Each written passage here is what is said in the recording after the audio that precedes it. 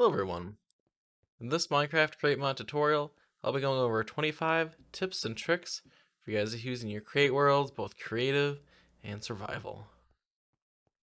We're going to start off with something I'm sure a lot of people know, but I still think it's important anyways.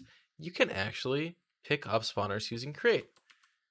Under your spawner, one block down, place a cart assembler on a rail, click a lever, it'll create a contraption, and then you can just pick it up with a wrench, move it to wherever you want it to go, grab your rail, place it back down, break your minecart, and boom, you've moved a spawner. Another sweet thing you do with the minecart contraption is you can actually make a little mini storage room. So here we've got these eight chests kind of sitting on this minecart contraption.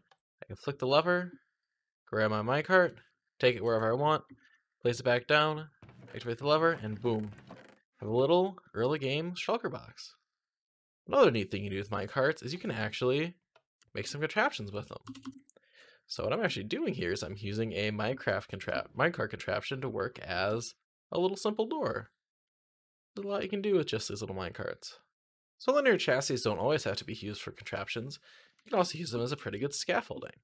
Because in survival, if you hold shift and right click them, you break them in one hit and they go right into your inventory. Another cool thing you can do is if you combine this alongside a block zapper, can do some pretty cool stuff with that.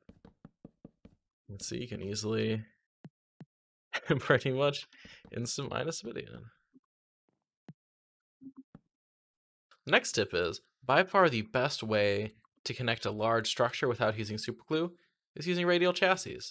Because they won't only go in a straight line, they will go in whatever kind of angles you want as long as it's within that 8 block up to 16 block area. When working with chassis, you can see the outline of whatever block you're trying to select.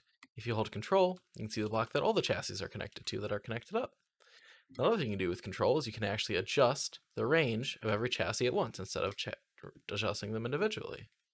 Another neat thing you can do with a wrench is you can actually rotate blocks. Rotate mini, create contraptions and items based on your wrench location. It'll basically rotate in a little circle around wherever your wrench is.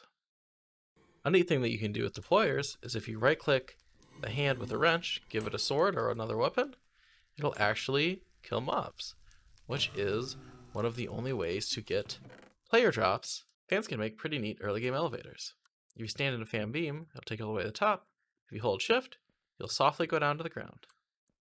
When moving across belts, you can actually hold shift and move freely on the belts. You can put filters inside of filters, inside of filters, inside of filters, inside of filters, inside of filters, inside of filters, and it will still work. Essentially, having infinite filtering capabilities. When placing a schematic that contains a funnel holding a filter, it'll actually keep that filter, essentially giving you a way to duplicate filters and get infinite filters in your survival worlds. You can transfer rotational power from vertical to horizontal using a large cogwheel. If you kind of face the shaft in a certain direction, you have a little arrow pointing up, transferring the power from here to here. The metal and wooden brackets can be used by placing them on either shafts or fluid pipes as a neat little decoration tool. The frames have wool in them or not. You can actually set the text that a Nixie tube displays using a name tag. And you can even automate this using a deployer. The turntable block used to craft the bearings is an actual block that you can place in your world spin little stuff around with it. Chutes can be placed up at an angle, allowing for transfer items not just vertically, but horizontally too at an angle. You can enchant sandpaper with Unbreaking 3 to allow you to make more rose quartz. Now that might not necessarily be required, because you can actually stack sandpaper by putting it through a chute into a deployer. Now that doesn't just work with sandpaper, it'll actually work with a whole bunch of tools, allowing you to do some kind of wacky stuff.